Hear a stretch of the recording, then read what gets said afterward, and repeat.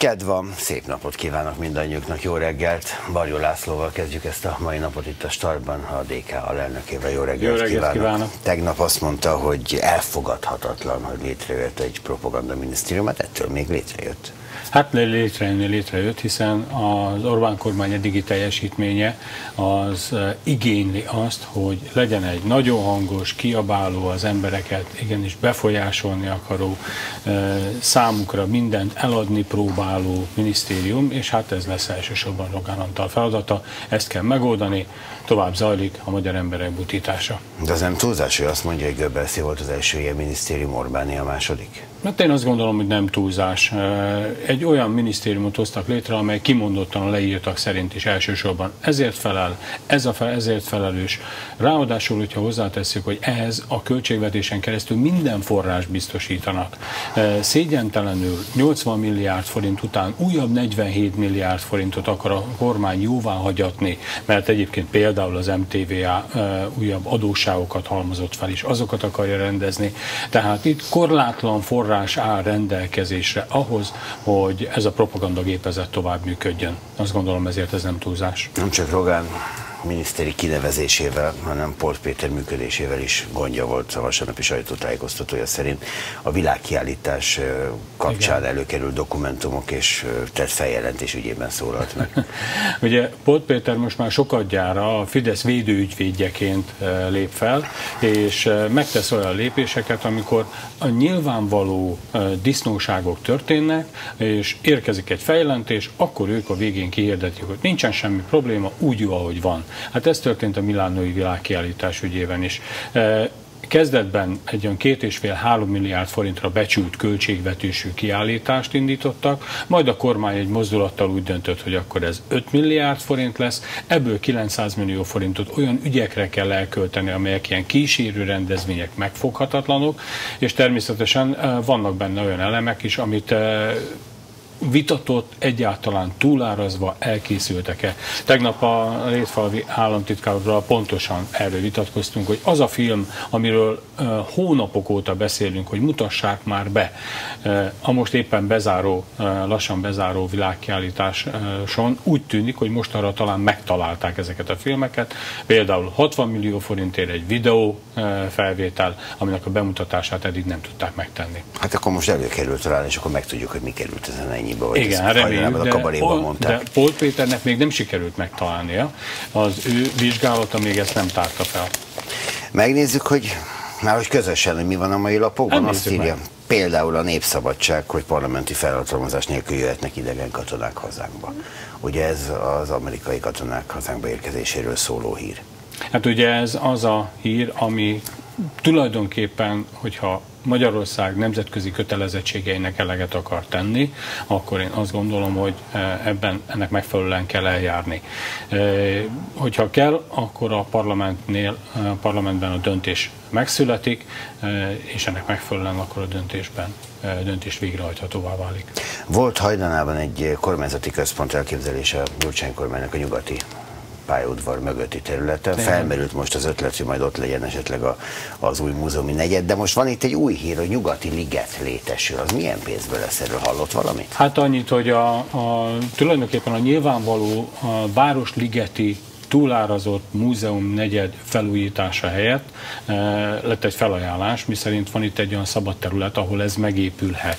És hogyha ez történik, akkor az racionalizáltabban, olcsóbban lehet megoldani, de e, én attól tartok, hogy mindegyik túlzás, bármelyiket veszük figyelembe, itt 100 milliárdokért ilyet építeni, de az egészen biztos, hogy a Városligetet a felújításon túl ilyen monstrum épületekkel betelepíteni teljesen felesleges. Tehát változatlanul nem támogatják nem, semmilyen módon projektet. nem támogatják. Rogán Antal végre megkapta Jussát, amiről beszéltünk, ez a bizonyos Igen. minisztérium, ez a népszavában ilyen címet kapott. Ez nagyjából fedi a valóságot, vagy fedheti, hogy Rogánnak járt valami? Hát fedheti, mert ugye régóta húzódik az a vita, ami eh, Rogán és Lázár közötti húzakodással zajlik, ők ezt próbálják elfedni, és Lázár úr eh, egy ilyen kis jópofáskodással megpróbál ezen túllépni. Ezzel együtt látszik, eh, hogy nap mint nap zajlik ez a húzakodás. Ugye ez hogy fog működni, ezt majd Orbán Viktor, mint egyébként főbíró, ezt majd időnként kihirdeti.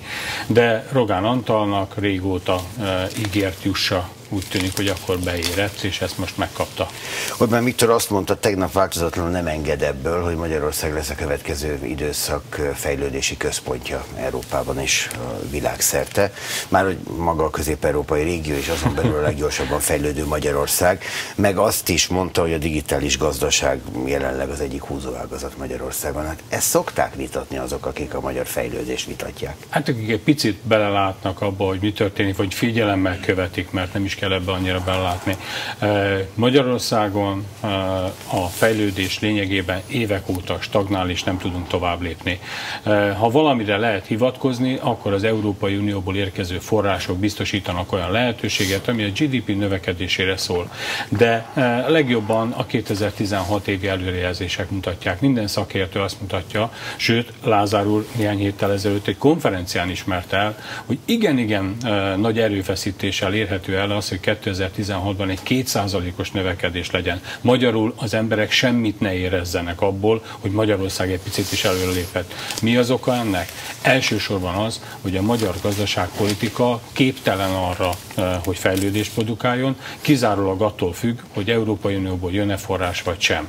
És mivel 2014. június 1 óta gyakorlatilag nem jön, hiszen új projektek alig-alig indultak, és még most is csak arról beszélnek, hogy majd meghirdetik és majd történik valami, ebből kifolyólag kifizetések, ebből pénz bevétel a magyar vállalkozóknak 2016-ban nem lehet. Ebből kifolyólag 2016-ban nem lesz fejlődés és punktum. Hát nagyjából ennyi, és ráadásul... Jó, hát remély, reméljük, hogy ennél jobb pálya is van a magyar gazdaság előtt, bár valóban ugye hát, itt tegnap, meg, tegnap több szakértő is elmondta, hogy a magyar gazdaság milyen állapotban van, és nem úgy festik le, hogy Orbán Viktor, ez kétségtelen. Azt írja a magyar nemzet, hogy Rogán Anta, mindenhol ez a téma, Rogán Anta feladatköre legalábbis homályosnak látszik. Hát, Viszonylag leírtnak tűnik pedig. Hát leírtnak, de a tekintetben, hogy akkor Lázár úr és Rogán úr között mi lesz a munkamegosztás, ez majd az élet e, alakítja, mert mindannyian politikai koordinációt akarnak végezni. E, a minisztériumok között közvetlenül és azon túlmenően is általános politikai e, koordinációt végez majd Rogán úr. Hogy ez a kettő hogy fog működni? Hát annyi szabadságot engedjünk meg, hogy valóban a kormánynak lehetősége van, hogy szabadon alakítsa a saját működését működési szerkezetét és annak megfelelően járjon el, de az a, az állítás, miszerint ez a magyar adófizetőknek nem kerül többletpénzébe, ez már a napokban teljesen megdőlt. Új államtitkárok, új miniszter, új osztályvezetők, ezek mind jönnek a nyakunkra, és egyébként ők végzik azt a munkát, amivel itt a propagandagépezetet működtetik. Azt írja a Magyar Idők, a tegnapi hír alapján kiderült, kémkedett a Jobbikos Európai Parlamenti képviselő Kovács Béla, ugye a jogi bizottság az Európai Parlamentben úgy döntött, hogy felfüggeszti, felfüggeszteni javasolja a parlamentnek Kovács Béla mentelmi jogát, tehát ezzel gyakorlatilag, ha jogilag még nem is, de gyakorlatilag ezt tudomásul lehet venni, hogy ez megtörténik vár valami valódi eredményt? Ugye Polt Pétertől kell várni az eredményt, aki, akit éppen a beszélgetésünk elején is éves sajtótájékoztatón is azzal vádolt, hogy nem nagyon dolgozik azon, ami neki kellene. Itt most várja, hogy dolgozzon? Én azt remélem, hogy uh, dolgozni fog, hiszen itt nagyon egyértelmű tények bizonyítják azt, hogy a Jobbik egyik képviselője az elmúlt évek alatt Magyarországnak ártó tevékenységet folytatott. Az egy kicsi szépséghiba ebben az egészben, hogy a Fidesz ezt úgy kezelte, mint egy választási kampány hadjáratban meglévő eseményt, és akkor kezdett el foglalkozni vele, és komolyan tarthatunk tőle, hogy Polt Péter is ennek megfelelően fog eljárni. Én bízom abban, hogy a Fidesznek nem áll érdekében, hogy ezt eltussolja, és kiderüljön a valóság. A Jobbik és mögötte szervezetei tel van, tele vannak olyan emberekkel, akik egyébként még más országokat is szolgáltak ezek szerint. Végül a világgazdaság romlik a szegények helyzete Magyarországon írja alap. Hát ez, ugye ez maga a legszomorúbb tény, hogy a magyar gazdaságpolitika, de tehetnénk azt, hogy mondjuk nyugodtan, hogy a magyar politika kiszolgálja ezt a folyamatot. Talán nem is olyan régen is emlékezünk rá, hogy Bogár László, a miniszterelnök egykori tanácsadója azt mondta, hogy három millió embert ott kell hagyni az útszélén, mert nem bírja el a magyar gazdaság, és nem kell őket, nem kell velük foglalkozni. Ezért nekik egy minimális életfeltételt biztosítva tovább kell lépni, és Magyarországnak ezen az úton kell járni. Azt követően nagyon sokan mosdatták eh, magát ezt a, a, a hírt, ezt a bejelentést, ezt a tanulmányt, amit akkor miniszterelnöki tanácsadóként e, írt. Én azt gondolom, hogy eközben pedig szép csendesen megvalósult.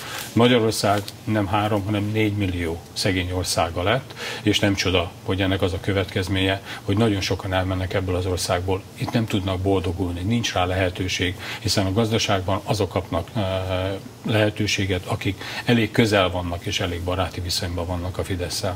Köszönöm, hogy eljött ma reggel. Köszönöm szépen.